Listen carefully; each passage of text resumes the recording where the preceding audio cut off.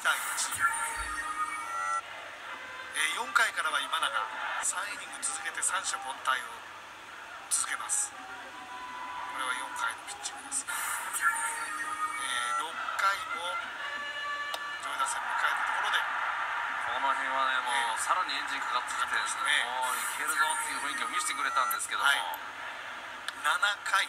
この後ですよね、はい、1人置いて小林との投球の最中に足があーつったのか痛めたのか。これね憶測ですが釣りましたね、つった。あの感じですと。あそうですか。はい。だとすればでその後パッと出てきてここは抑えます。その裏の菅野。ここはあの本人も言ってたところですが三者凡退の以上は初めて作りました。で、えー菅野から始まる打順の8回の表は先頭脇谷が代打それがヒットで出塁。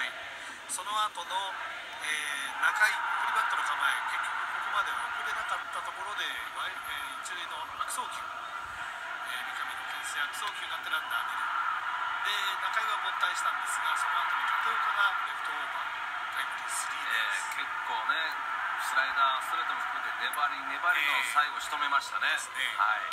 その後の坂本はきっちりセンター返しからの3、4番はもうさすがとしか言いようがないですね、でここで三上は降りて田中健次郎上がったんですが阿部の技ありの一発、まあ、打たれた方もあれが入るのっていう意味でしょうけども、これは阿部慎之助ならではの技術のあるホームランでした、はい、その裏マシソンからロペスの一発これも豪快な、打った瞬間でしたね。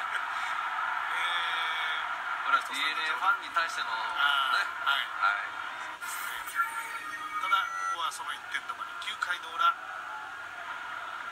ンナーを2人振り込んでチャンスを迎えましたがカメネロが最後は抑えます、えージャイアンツが5対2でベイスターズを破ったゲーム。ジャイアンツはこれで4連勝。ベイスターズは、えー開幕からの4試合で1勝3敗。筒香にまだ当たりが出てこないというのもちょっと心配。明日以降です。菅野は今シーズン初登板で初勝利。